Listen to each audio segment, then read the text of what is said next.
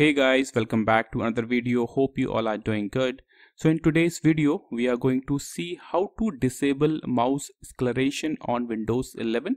So in this video, I will share two methods you can apply or you can use. So let's start with our first method. So first, click on this Windows icon, then click on this settings option. After that, on the left side, click on this option Bluetooth and devices now on the right side, scroll down and you will see this option mouse.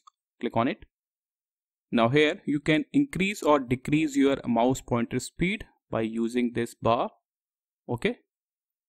You can increase or decrease the mouse pointer speed. So this is the option we need enhance pointer. So to disable this option just click here. So this will disable mouse acceleration on Windows 11. So this is your first method. Now move on to the second method you can use. So in the second method, click on this search box and type control. Now you will get this result control panel. Click on it. After that in the view by section, select small icons. And this is option we need mouse. Click on it. You will get this kind of small window. Select or click on the third tab pointer options and here you can see this is the option we need enhance pointer. So you have to disable or untick this option.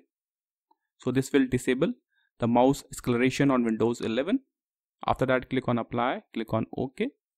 That's it. So these are the two methods you can apply. This is all for the video. Thank you